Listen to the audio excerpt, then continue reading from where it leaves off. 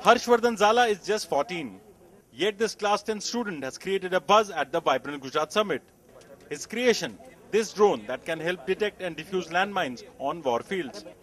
He has now signed a memorandum of understanding worth 5 crores with the Gujarat government for commercial production of his gadget. इनका जो MOU का जो sign हुआ है इनका आने वाला दिन में इनका काफ़ी और, और बड़ा प्रोजेक्ट में वो काम करेंगे गुजरात सरकार के डिपार्टमेंट के साथ। Harshvardhan started work on the prototype last year after reading in the newspapers about high army casualties due to landmines. मैंने एक रोबोट बनाया जिससे हम लैंडमाइन को डिटेक्ट कर सकते हैं। पर रोबोट में थोड़ा प्रॉब्लम इशू हुआ कि रोबोट भी फट सकता है अगर उसके ऊपर उसका वेट आ गया तो।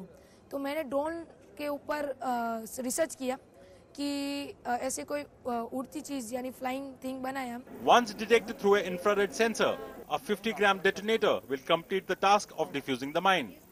So how much does this drone cost? हमारा total cost three lakh and twenty thousand rupees तक का हुआ है इन फ़र्स्ट फाइनल प्रोटोटाइप ये जो कॉस्ट है वो आर्मी में अभी जो यूज़ होने वाले माइन डिटेक्टर्स है उनसे कई कई गुना बहुत कम है। The only son of an accountant with private company Harshvardhan has set up his own company aerobatic 7 and plans to create more such gadgets in Gandhinagar with camera person Natwar Parmar Rohit Baan for NDTV